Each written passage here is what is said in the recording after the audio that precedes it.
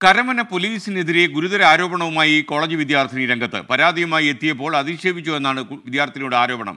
ബന്ധു ആക്രമിച്ചെന്ന പരാതി പിൻവലിക്കാൻ സമ്മർദ്ദമുണ്ടായെന്നും സി പി എം പ്രാദേശിക നേതാക്കളുടെ ഇടപെടലുണ്ടെന്നും പെൺകുട്ടിയും കുടുംബവും പറയുന്നു. പിന്നെ പിറ്റേ ദിവസം ആയപ്പോൾ വീണ്ടും രാവിലെ ഞങ്ങൾ സ്റ്റേഷനിൽ പോവാണ്. സ്റ്റേഷനിലുള്ളവർ ഒരു ദാക്ഷിണ്യം ഇല്ലാതെയാണ് ഞങ്ങളടുത്ത് പെരുമാറുന്നത്. ഞാൻ എന്റെ മൊഴി എടുക്കാൻ എന്റെ പെറ്റീഷൻ അവരെന്റെ അടുത്ത് കാര്യങ്ങൾ ചോദിക്കുമ്പോഴും അവരെന്നെ ആക്ഷേപിക്കും പോലെയാണ് പറയുന്നത്.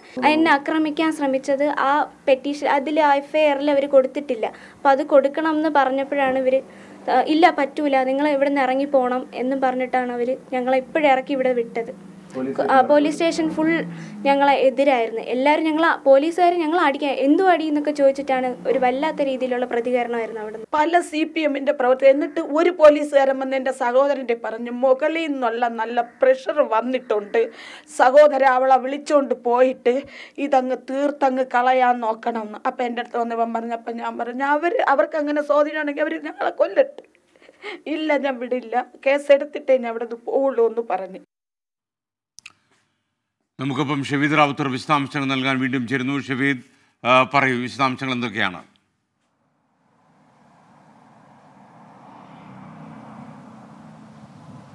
എസ് കെ എൻ സംസ്ഥാന പോലീസ് മേധാവിയായി ഷെയ്ഖ് ദർവേഷ് സാഹേബ് ചുമതലയേറ്റപ്പോഴും അദ്ദേഹം ആദ്യം പുറത്തിറക്കിയ എസ് ഒ പിയിൽ പറഞ്ഞിരുന്ന ഏറ്റവും പ്രധാനപ്പെട്ട കാര്യം സ്റ്റേഷനിലെത്തുന്ന പൊതുജനങ്ങളോടും അതേപോലെ പുറത്ത് പെരുമാറുമ്പോൾ സ്വാഭാവികമായും അവരോട് മാന്യത പുലർത്തണം. മാത്രവുമല്ല അവരുടെ പരാതികൾ കേൾക്കണം. അതിനനുസരിച്ച് കാര്യങ്ങൾ ചെയ്യണമെന്നുള്ളതായിരുന്നു പോലീസിന് ആകെ കിട്ടിയ നിർദ്ദേശം. എന്നാൽ ഇപ്പോൾ ഈ കരമന സ്വദേശിയായിട്ടുള്ള ഈ പെൺകുട്ടി ഇരുപത്തിയൊന്ന് വയസ്സാണ്.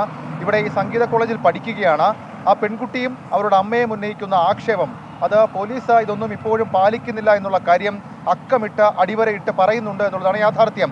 ഇക്കഴിഞ്ഞ ഞായറാഴ്ച അതായത് ദീപാവലി ദിവസമാണ് ഈ സംഭവം നടക്കുന്നത്. ഈ പടക്കം പൊട്ടിക്കുന്നതുമായി ബന്ധപ്പെട്ട ഈ പെൺകുട്ടിയുടെ വീട്ടിലുള്ളവരും അതേപോലെ തന്നെ അവരുടെ ബന്ധുക്കളായി തന്നെ തൊട്ടപ്പുറത്ത് താമസിക്കുന്ന ഒരാളും തമ്മിൽ ചില പ്രശ്നങ്ങളും തർക്കങ്ങളും ഉണ്ടായി. ഒടുവിൽ ആ ബന്ധുവായ ഒരാൾ ഈ പെൺകുട്ടിയെ വീട്ടിൽ വന്ന വീട്ടിന്റെ മുമ്പിൽ എത്തി മർദ്ദിച്ചു എന്നുള്ളതാണ് ഇവരുടെ പരാതി.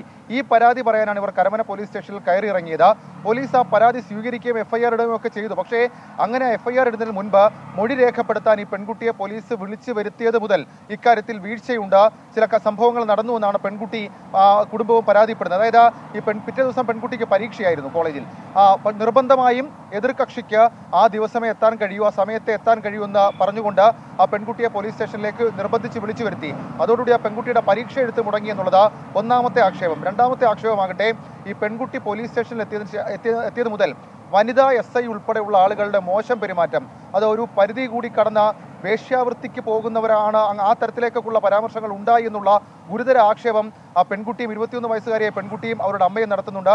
ഈ ഇരുപത്തിയൊന്ന് വയസ്സുള്ള കുട്ടികളുടെ പെൺകുട്ടിയുടെ മുഖത്ത് നോക്കി അത്തരം സംസാരങ്ങളൊക്കെ സംസാരിക്കുമ്പോൾ അവർക്ക് തുടർന്നും മനസ്സിലുണ്ടാകുന്ന മുറിവിനെക്കുറിച്ച് നമുക്കറിയാവുന്ന കാര്യമാണ്.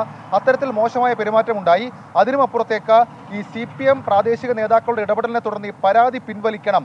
ആ പരാതിയിൽ നിന്ന് പിന്മാറണം. അങ്ങനെയൊന്നും നടന്നിട്ടില്ല. നിങ്ങൾ വ്യാജമാണ് പറയുന്നത് എന്നതടക്കമുള്ള കാര്യങ്ങൾക്ക് ഭീഷണിപ്പെടുത്തി സമ്മർദ്ദ സമ്മർദ്ദം ചെലുത്തി എന്നൊക്കെ ഇവർ പറയുന്നുണ്ട്. ഒടുവിൽ പോലീസ് സ്റ്റേഷനിൽ നിന്ന് ആട്ടി ഇറക്കി വിട്ടു എന്നടക്കമുള്ള ആരോപണങ്ങളും ഇവർ ഉന്നയിക്കുന്നുണ്ട്. ഇന്നലെ നമ്മൾ ഇവരെ കാണാൻ പോകുമ്പോൾ ഇവരുടെ വീട്ടിൽ അന്നേരം കരമന പോലീസിലെ പോലീസ് ഉദ്യോഗസ്ഥർ എത്തിയിരുന്നു. പക്ഷേ അപ്പോഴും അവർ ഇവരുടെ പരാതി എന്താണ്? ആ പെൺകുട്ടി ഗൗരവമായി ഉന്നയിക്കുന്ന പരാതി അന്നത്തെ ദിവസം ഈ ബന്ധുവായിട്ടുള്ള ആൾ ആ പെൺകുട്ടിയെ കടന്നു പിടിച്ചു ആക്രമിച്ചു മുടികുത്തി പിടിച്ചു അവരുടെ കഴുത്തിന് മർദ്ദിച്ചു എന്നുള്ളതാണ്. അത് ഗൗരവമുള്ള പരാതിയാണ്. എഫ് പരിശോധിക്കുമ്പോൾ അതടക്കമുള്ള വകുപ്പുകൾ അതിനകത്ത് ചുമത്തിയിട്ടില്ല എന്നുള്ളതും യാഥാർത്ഥ്യമാണ്. ഏതായാലും ഇത് ചൂണ്ടിക്കാണിച്ചുകൊണ്ട് സംസ്ഥാന പോലീസ് മേധാവിക്കും മുഖ്യമന്ത്രിക്കും പരാതി നൽകാനാണ് കുടുംബം കുടുംബത്തിന്റെ നീക്കം. ഇത്തരം സംഭവങ്ങൾ അത് പോലീസ് സേനയുടെ പേരിങ്ങനെ കളങ്കപ്പെടുത്തിക്കൊണ്ടേയിരിക്കും ഇത്തരക്കാരെ അല്ലെങ്കിൽ ഈ പോലീസ് സ്റ്റേഷനിൽ എത്തുന്നവരോട് മാന്യമായി പെരുമാറിയില്ലെങ്കിൽ സ്വാഭാവികമായും അത് പൊതുജനങ്ങളും പോലീസ് തമ്മിലുള്ള പ്രശ്നം കൂടുതൽ വഷളാക്കുകയും ചെയ്യും S K. Okay thank you Shefeed Rawther. ലോകത്തെവിടെയായാലും ഏത് സമയത്തും ട്വന്റി ഫോർ വാർത്തകളും ഓഗ്മെന്റഡ് റിയാലിറ്റി പാക്കേജുകളും എക്സ്പ്ലെയിനറുകളും വിശദമായി കാണാൻ ഞങ്ങളുടെ യൂട്യൂബ് ചാനൽ നിങ്ങൾക്ക് സബ്സ്ക്രൈബ് ചെയ്യാം.